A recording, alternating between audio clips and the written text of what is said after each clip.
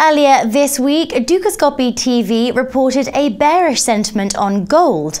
But what of precious metals' more industrial sibling, the base metals? Kiran Ahmed of Oxford Economics joins me on the line now. Kiran, a weak trend at the LME following disappointing China PMI data has created a decline in copper futures in trading on this Thursday.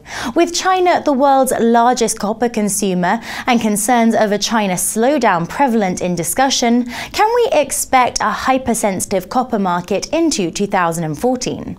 Well, we are expecting um, weaker growth this year for uh, for China as the economy rebalances towards more consumption-led growth away from investment, um, towards services and away from industry.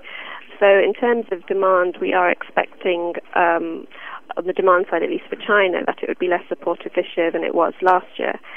But probably the, the bigger factor this year for the copper market is uh, is stronger supply trends. Um, uh, earlier this decade, we did see quite strong copper price uh, price increases as Chinese demand was fairly strong, and that led to uh, stronger investment in mining for copper. And some of that is now coming on stream. So we're expecting uh, stronger supply trends to actually exert downward pressure on prices, particularly as demand is not going to be as supportive as it has been in previous years. So I'd say for copper we are expecting a decline, but that's going to be largely due to supply rather than uh, weaker demand. UC Rusal, the world's biggest aluminium producer, has forecast a 6% growth in global aluminium demand in 2014. But with indicators from the LME suggestive of a glut in supply, which side of this fence do you fall on? And is this likely to create bullish or bearish pressure on aluminium prices? Um, well, as I mentioned for coppers, the in terms of demand from China, the same things sort of apply. We're expecting weaker demand this year from the key uh, consumer of metal. So demand won't be as, as supportive as we saw um, last year.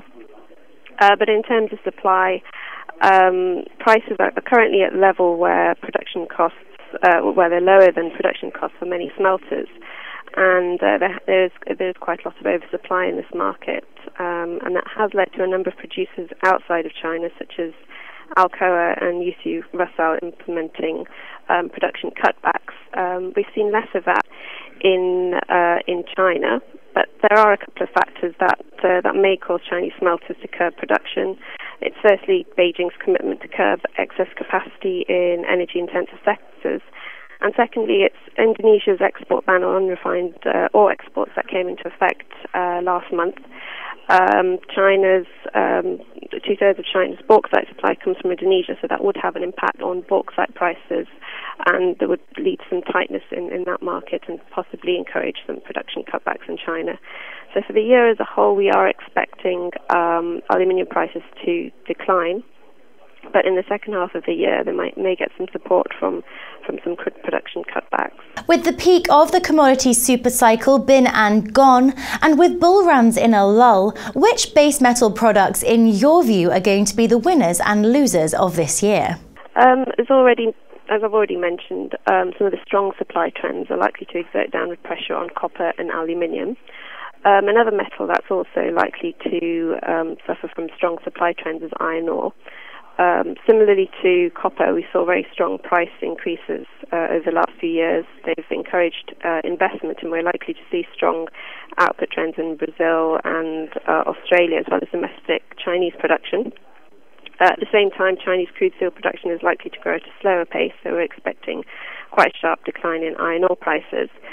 But there are some metals that are expected to experience supply tightness this year. Um, the ban on Indonesian unrefined ore exports is likely to um, has has already resulted in an increase uh, strengthening in nickel prices.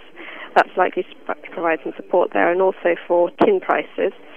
Um, at the same time, we are seeing um, some tightness in the zinc market as um, some uh, zinc mines are uh, due to close this year and next year.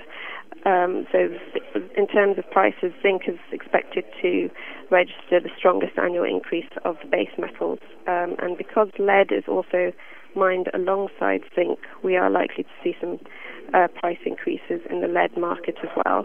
and lead will also be supported by um, stronger motor vehicle production this year. Um, and it's already been supported by the big freeze in North America, which boosted replacement uh, demand for car batteries. So, in summary, um, we're likely to see um, the strongest performer is likely to be zinc. Um, iron ore is likely to experience the, the strongest decline, followed by copper. Kiran, thanks for joining me. That's all for now. Join me tomorrow when I'll be bringing you the weekly wrap up with yet another Market Insider. Goodbye for now.